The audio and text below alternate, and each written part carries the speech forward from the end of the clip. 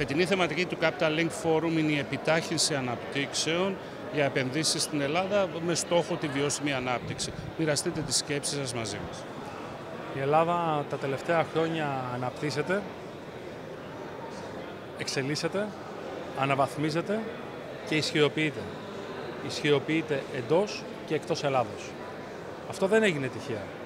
Αυτό είναι το αποτέλεσμα της υλοποίησης μιας συνετούς δημοσιονομικής πολιτικής, της εφαρμογής πολύ σημαντικών διαθεωτικών αλλαγών, αλλά και του συχνοτισμού πολιτών και πολιτείας, όπου από κοινού, με σκληρή δουλειά, αλλά και σημαντικές μειώσεις του διαθέσιμου εισοδήματος των πολιτών τα προηγούμενα χρόνια, καταφέραμε να ανταπεξέλθουμε σε αυτή την πρωτόγνωρη κρίση.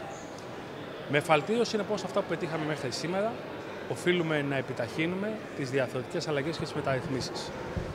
Στο πολιτικό πεδίο ευθύνης του Υπουργείου Υποδομών και Μεταφορών υλοποιούμε έργα τα οποία ολοκληρώνονται την επόμενη περίοδο, την επόμενη τριετία.